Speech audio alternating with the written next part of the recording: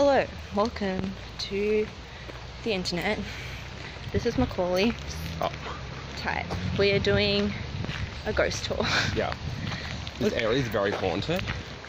Um, there's lots of spirits here at night, Like especially on a Thursday night. That's when spirits are most active. Um, we got a lake just beside us here, and that's full of lots of corpses from when this was an army hospital, and they couldn't afford to bury the dead, so they just chucked them in the lake, and they've been in the lake now for like a hundred years.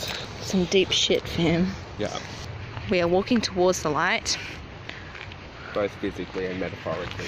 Down there is where some people smoke weed sometimes.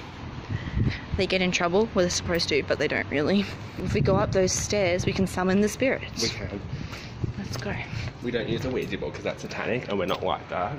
So we just ask them nicely to show themselves. Yeah. Let's go up the stairs. Did you know this ground is glittery? Yeah. I only just noticed. Where we some there's someone in the car. Bet you they're having sex down there. It's actually me having sex in my car. And here it is.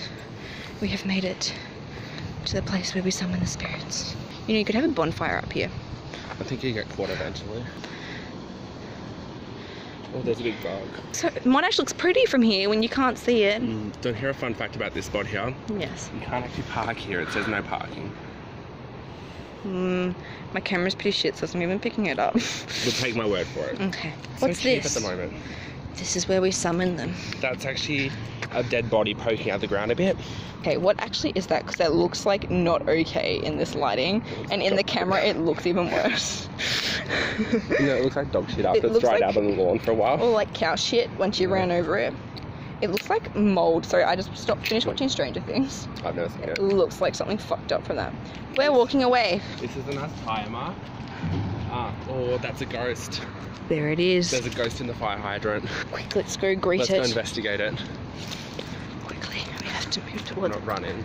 I've got it. I can't run. I'm wearing a strapless bra. I broke my water bottle today. Coley, that's I know, I devastating. dropped it. You know how I was talking to you outside? Yeah. And I was flipping it up in the air? Yeah. I dropped it like 10 minutes later, it cracked. Oh no, that makes me so sad. I'm so sorry to hear. We'll have a ceremony for it We'll tomorrow. bury it. We'll toss it in the lake.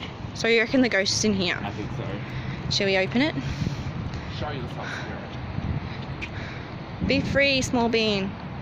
What if something's actually in there? I'm scared I don't want to open it then. Ghosts in the oval. Oh, there's spirits everywhere. No, why can't they all be in one area? I know. It literally just came from there.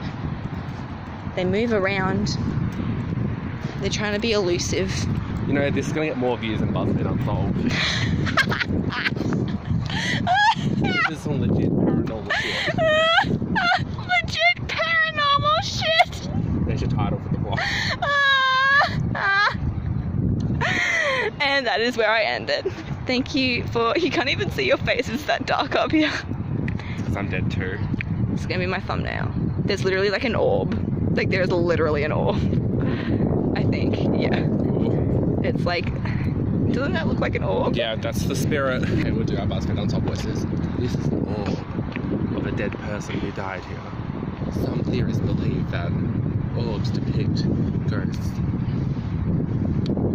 If you listen to the camera, you might be able to hear the spirits communicating with us. Oh, there it was. Oh my god, what the hell? That was a scream in the distance. Alright, fam. Peace out. Subscribe!